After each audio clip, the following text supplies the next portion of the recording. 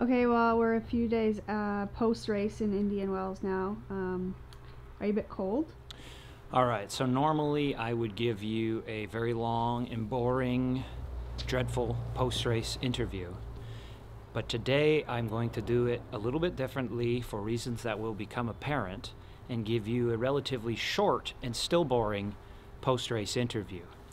Um, so,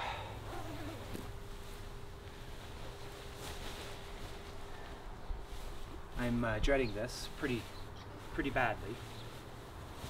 Not going to lie.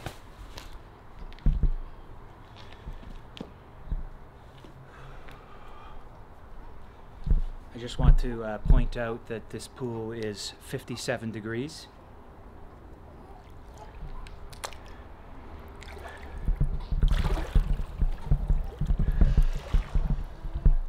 Tutti, it's okay, buddy. That's how I feel right now, too. Okay. Okay. Okay.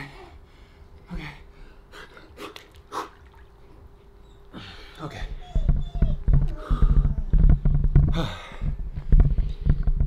um, so if you've been following along, you will have probably saw that I have developed a bit of a phobia. I've actually always had a phobia of cold water, but it's been getting uh, worse after I think, I believe, it began growing in my mind in the Ice Chest Challenge in Kona with the Liedos and with Colin.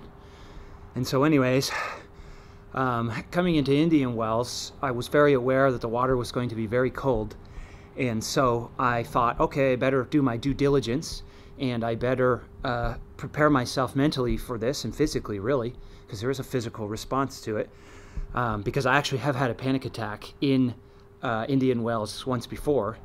And so I came out here in my normal wetsuit and I put my feet in the water and I immediately turned back around and I went inside and I, I said, There's absolutely no way I can do this. Um, and so I got my, my thermal wetsuit, thicker, uh, a bit more restrictive, some, some like different fibers on the inside, and my thermal cap. And then I came out and I lasted for two minutes in here with all of those things on. Um, and then uh, this is now like about a week ago. Um, then eventually I was able to the next day stay in for five minutes with it on, and I felt like I had somewhat made gains in that department. So, anyways, I made that decision to wear uh, a thermal suit, knowing I had I had done some testing with the suit, but uh, knowing that you know I would be sacrificing some speed for uh, being warmer, and right off the bat, I must say, making decisions based on fear and phobias is, is probably a mistake in, in most instances. Um, so, anyways, um, I go to the race. Um, I, I get, I'm doing everything to the best of my ability. I get into the water about 10 minutes before. That's how long they allowed us to do an acclimation. And uh, it seemed like everything was going good. I, I seemed like I had undergone the physiological process that that happens when you get into cold water. And uh, I lined up, and one of the things I've really been working on my swim, I've been working really hard on my swimming, and I'm actually one of the other fears I have is taking it out hard. And um, be- because I have had instances where I've blown up before, and so I've been really working on getting over that phobia. But perhaps it was not the right time to start that uh, in a race because the gun went and I went out gung ho. And I believe the combination of wearing a thicker, tighter, more restrictive suit, the thermal cap with the chin strap, um, the cold water, it was 57 degrees like this water in this pool, and the uh, taking it out really hard, I believe it was a battle that I was going to lose from the beginning with my mindset, my fear, my phobia, and then um, about maybe 150 meters in, I felt like I couldn't breathe, and I felt that there was no option other than to stop. And my first reaction was to rip off the thermal cap because I was felt that I was was uh, suffocating. And then it took me a while to get my bearings. Eventually, I got my bearings and I started swimming again. And I knew then when I got well, first off, then my head had to undergo the um, acclimation process because it had not really touched the water yet, and I have pretty short hair, and um, yeah, go you can laugh, it's okay. Um, anyways, when I was swimming, I, I realized that uh, giving up that performance, going from a, you know, a, a pretty pretty loose. I'd done all this mobility work, uh, literally half hour to 40 minutes a day of mobility work. I'm acutely aware of changes in mobility now, and so I knew that my mobility was quite restricted. And then I, even though I had lost some time, um, I knew even once I got my bearings, though I was still quite discombobulated, I knew that I had made a poor decision. But it was the best decision I could make, uh, operating from a place of fear and phobia. And so, anyways, I swam to the best of my ability uh, until the finish. And then I got out of the water. I knew my race was over the moment I was treading water in a professional race against um, Sam Long and Jack Laundry and various other top tier talent.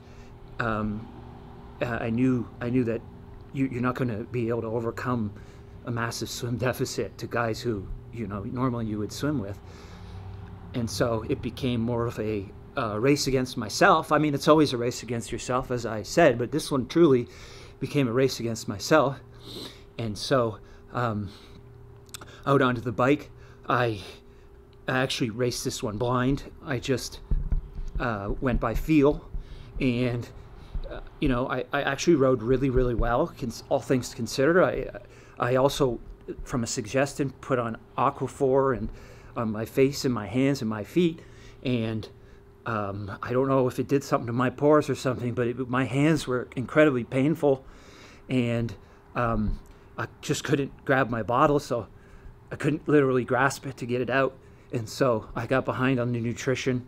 That's not relevant because I was never going to be a factor anyway, but it was an observation. I don't think I would do that again. Uh, use that stuff. I'm not sure if that was that or just the cold water and cold temperatures in general. Um, but I actually ne- like negative splitted the bike on, off of feel, and I averaged 321 watts. In the final 40 minutes, I averaged 326. So it wasn't a great bike performance, but I knew that if I was going to do my very best in the race, I also was going to have to run well. And so I figured that a conservative approach on the bike would be um, probably the best bet, the best method. I was pretty uh, weak uh, still on the corners, so it's an area definitely to improve upon. I was still quite timid, um, but it's a work in progress.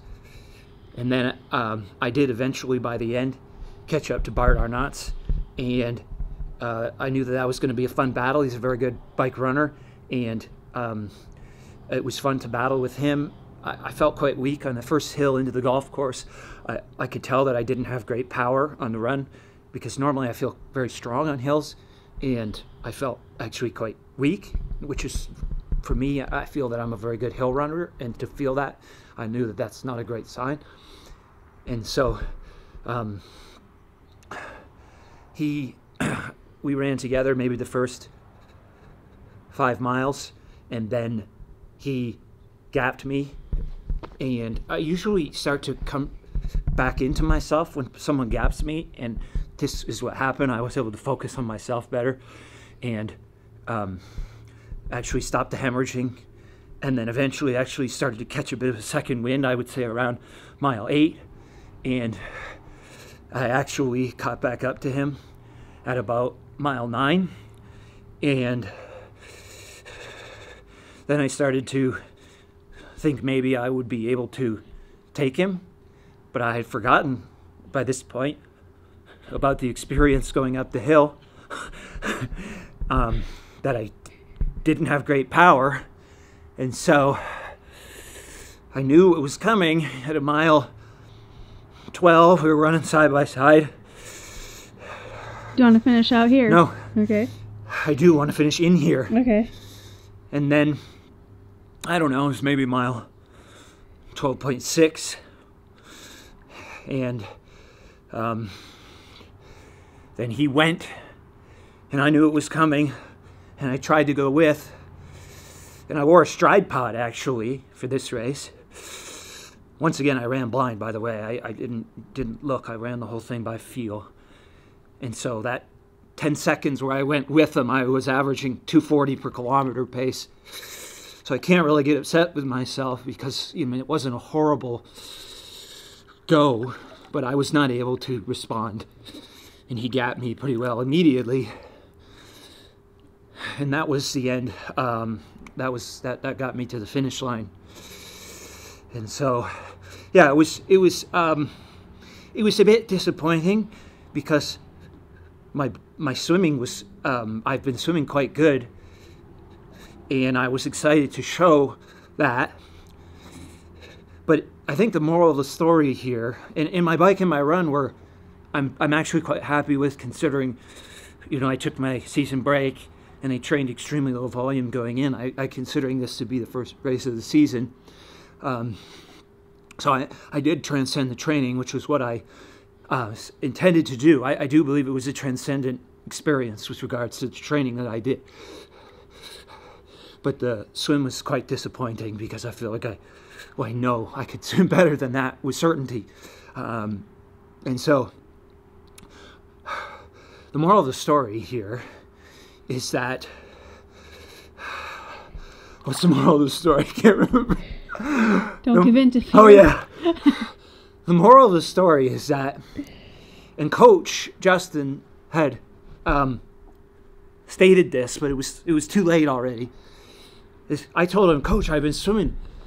I actually told Coach, Coach, I think this this race is actually going to be more of a test of my survival skills than it is of my swimming. I don't know why I talk because everything I effing say usually comes to fruition, like like like I just created almost. But anyways, I said to him, I'd been training in the thermal suit in the pool to try and get used to it, and he said, "What are you going in there in the thermal suit for? Why aren't you going in there without a wetsuit on? So that then when you get in the race with a wetsuit on, you'll be like, this is amazing. This is so wonderful."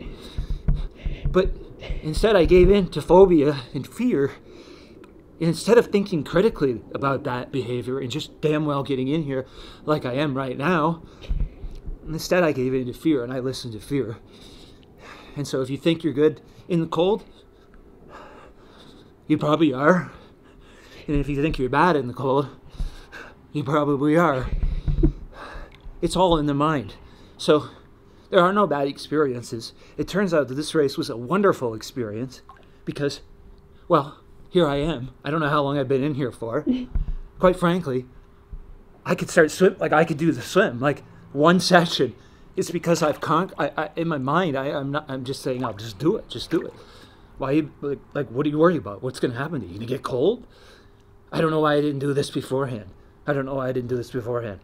But now I actually find this quite invigorating, and I'm gonna get a cold tub. I think, and and really practice this. It seems like a really, really uh, positively stimulating mental, physical challenge. So, anyways, No fucking limits. Oh god.